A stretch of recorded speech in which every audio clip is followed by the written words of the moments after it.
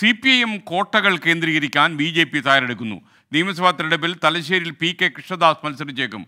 ലോക്സഭാ തെരഞ്ഞെടുപ്പിൽ C P M ശക്തി കേന്ദ്രങ്ങളിൽ നേട്ടമുണ്ടാക്കിയെന്ന വിലയിരുത്തലാണ് ഇപ്പോഴുണ്ടായിരിക്കുന്നത്. അതിന്റെ അടിസ്ഥാനത്തിലാണ് ഈ നീക്കം. തിരുവനന്തപുരത്ത് നിന്ന് ഷെഫീദ് റാവുത്തർ ചേരുന്നു.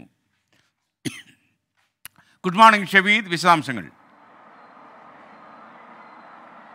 S K N good morning S K N സൂചിപ്പിച്ചതുപോലെ തന്നെ ലോക്സഭാ തെരഞ്ഞെടുപ്പിൽ ബി ജെ പി അവർ പ്രതീക്ഷിച്ച അവർ വർക്ക് ചെയ്ത മണ്ഡലത്തിനപ്പുറത്തേക്ക് ചില മണ്ഡലങ്ങളിൽ കൂടി കാര്യമായിട്ടുള്ള പുരോഗതി ഒരു എഡ്ജ് നേടാൻ ബി ജെ പിയെ സംബന്ധിച്ചിട്ട് കഴിഞ്ഞിട്ടുണ്ട്. തിരുവനന്തപുരം അതേപോലെ തന്നെ ആലപ്പുഴ പാലക്കാട് ഈ ജില്ലകൾക്ക് തൃശൂർ ജില്ലകൾക്ക് പുറമെ കണ്ണൂർ ജില്ലകളിലും വലിയ നേട്ടം. അത് ബി ജെ പി ഉണ്ടാക്കിയെന്നാണ് ബി ജെ പി സംസ്ഥാന നേതൃത്വത്തിന്റെ വിലയിരുത്തൽ. പ്രത്യേകിച്ച് ധർമ്മടത്തെ അടക്കം വോട്ട് ഷെയറിംഗ്. അത് കാര്യമായ പുരോഗതി ഉണ്ടാക്കിയെന്ന് ബി ജെ പി കരുതുന്നു. ഇതോടുകൂടിയാണ് സി പി എം കേന്ദ്രങ്ങളിൽ കൂടുതൽ ശ്രദ്ധ കേന്ദ്രീകരിക്കാനുള്ള ബി ജെ പിയുടെ നീക്കം.